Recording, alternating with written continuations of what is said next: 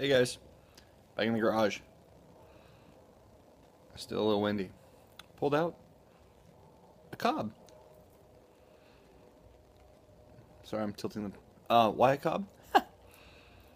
well, it's a beautiful cob. First of all, I love the red heads, the natural finish. Got this at the uh, Columbus Pipe Show last year, and uh, it's actually the first bowl I'm sad to sad to say but it's a good one. And because of that, I'm smoking it in the garage because it's windy again today, and uh, these natural cobs uh, smoke a bit hotter, and I don't like the taste of cob in my tobacco. So, anyway, good good pipe.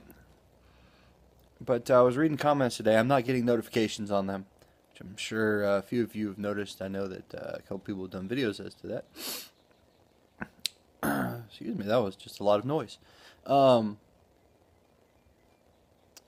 Oh yeah, notifications. So I just kind of logged in to see if anybody said anything, and they had. I now can reply from the app on my phone, which is awesome. I didn't know you could do that. So uh, replies should pick back up. So I hope we can continue the interaction.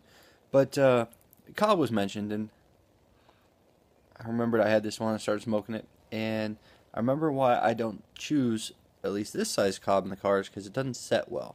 While poker pipes do, this one generally just falls, and then I dump ash all over. So the one cob I have smoked in the car is the MacArthur because big enough that you can't uh, clench it. So you definitely don't hold the thing up so it fits or uh, it fits the criteria previously stated. Um, I re-smoked that uh, uh GLP's pipe that I used. I took that in the car the other day and that was very nice. So um, now I'm going to get another one, but uh, that may be moving up. And I've got a um, Mark Tinsky poker that I have. It might be joining me tomorrow to Indianapolis but I'm not sure. I may just completely disregard all of this and get whatever pipe strikes my fancy. Uh, finally,